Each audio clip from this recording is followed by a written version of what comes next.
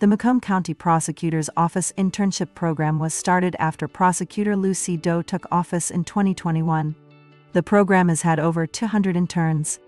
Internships are available for undergraduate, graduate, and law school students, giving them practical experience in the criminal justice system.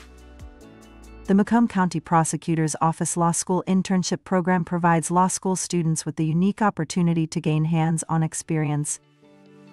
Pursuant to Michigan Court Rule 8.120, law school students are given authority to appear and represent the people of the state of Michigan in court proceedings.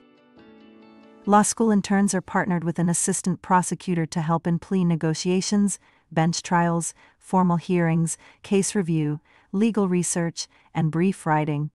This internship bridges the gap between law school and real courtroom experience. I created this internship program because that's how I started my career. The Macomb County Prosecutor's Office internship program offers unlimited opportunities.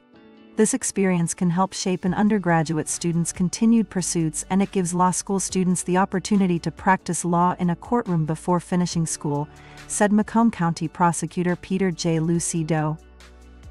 The Macomb County Prosecutor's undergraduate and graduate school internship program gives students real world opportunities to gather knowledge of the criminal justice system and create a strong work ethic.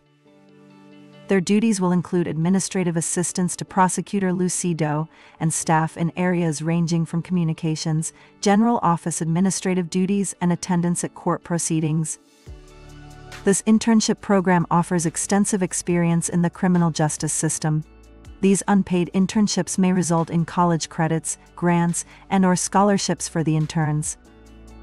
If you are interested in becoming an intern, please send a cover letter and resume to intern coordinator Martha Maxwell at martha.maxwell.